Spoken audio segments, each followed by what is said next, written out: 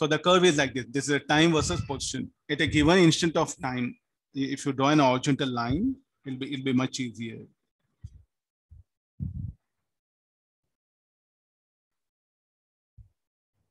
You look at this. At a given instant of time, it object cannot have two different positions. Not possible, no? I'm writing not possible. At a given instant of time, the particle cannot have two positions. That's what here. How come it can have two portions? How can it be at 10 centimeter and 20 centimeter? So there's a ruled out.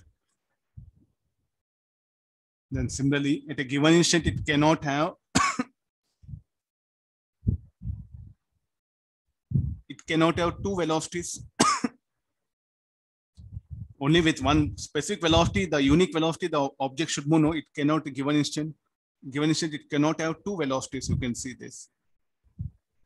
This ruled out. What about this? Speed cannot be negative, no? Yeah. I'll, I'll put it in proper.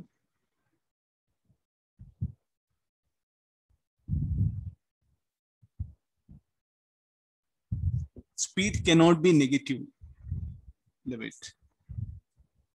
No, yeah, yeah, distance covered. Distance covered will never decrease. With the journey should keep on increase. Distance covered with the time should increase. Here it is decreasing, not possible. Distance covered cannot decrease with the time. So therefore, grasp why they are wrong also, we should know how to interpret here.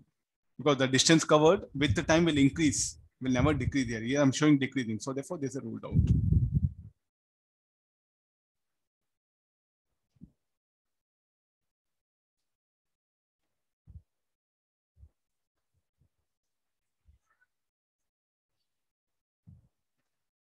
Let me move this down.